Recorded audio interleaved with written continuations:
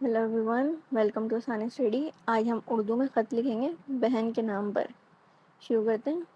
सबसे पहले कराची लिखा हुआ है, यहाँ पे आप अपने शहर का नाम लिखेंगे। तेरह जनवरी दो हज़ार तेईस। यहाँ पे आप जो भी तारीख होगी, वो लिखेंगे अपनी। प्यारी बहन। उसके बाद इस तरह का एक मार्क आएगा।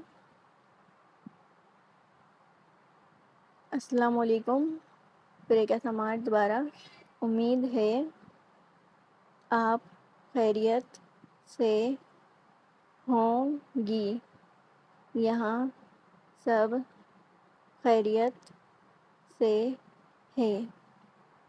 अपनी सालगिरह पर मुझे आपका ख़त और तोहफ़ा मिला। मुझे ये तोहफ़ा बहुत पसंद आया।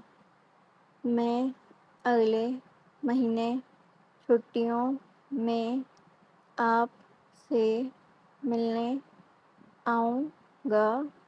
अम्मी जान और अब्बा जान की खिदमत में सलाम कहना और अपना ख्याल रखना। आपका भाई अली, यहाँ पे आप अपना नाम लिखेंगे। Thank you so much